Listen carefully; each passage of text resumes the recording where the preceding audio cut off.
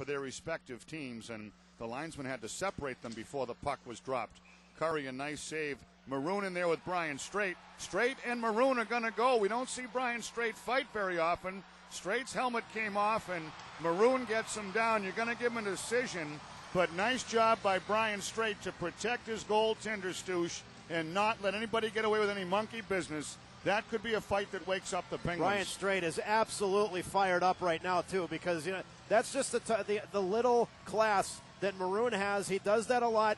Player goes down, couple of more punches after the you know the player's down defenseless on the ice.